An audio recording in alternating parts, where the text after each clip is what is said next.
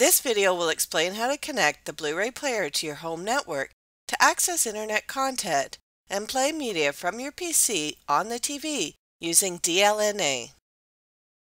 With the player connected to the internet, you can enjoy services such as Netflix, Cinema Now, Vudu, Hulu Plus, and YouTube.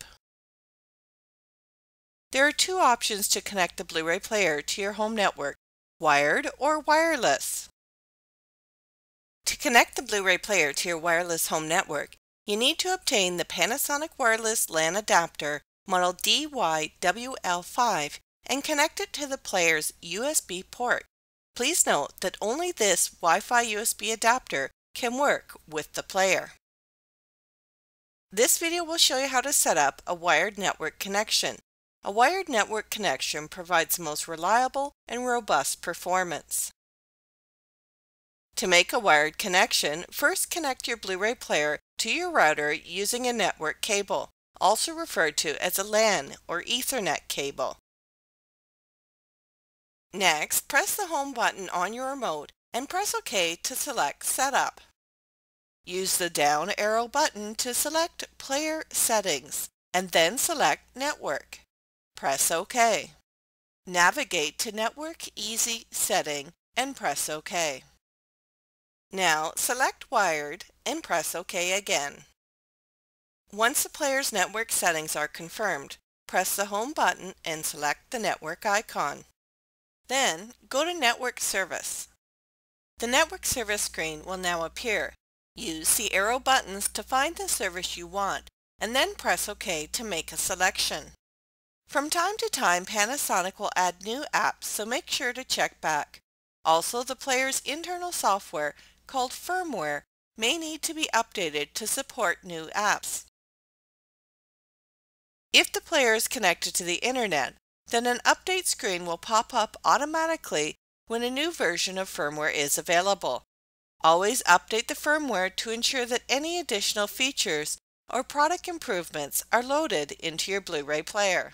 To update the player's firmware, manually go to the Setup menu and then select Player Settings.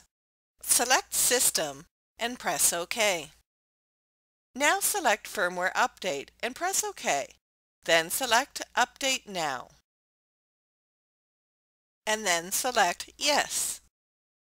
If a newer version is available, select Yes. Do not disconnect the player or shut it off while it's performing the update which will take several minutes. The player will restart when the update is complete. If the player is not directly connected to the internet, you can use your computer to download the latest firmware from the Panasonic support site. Now we'll explain how to use your player to access your videos, photos, and music stored on a DLNA certified media server, such as a Windows 7 PC or other DLNA certified devices. You'll be able to enjoy your media on the TV through your home network. With your Windows 7 PC connected to your home network, go to the Control panel. In the Network and Internet section, click on Choose Home Group and Sharing Options. Then, under the Share Media with Devices, enable Stream My Pictures, Music, and Videos to all devices on my home network. Your media file must be stored in the computer's library to be shared. Using your Blu-ray player remote control, go to the home screen and select Network and then Home Network. Select DLNA from the menu choices. The content of the server will now be displayed on screen. Using the up-down arrow buttons, select the media you wish to access.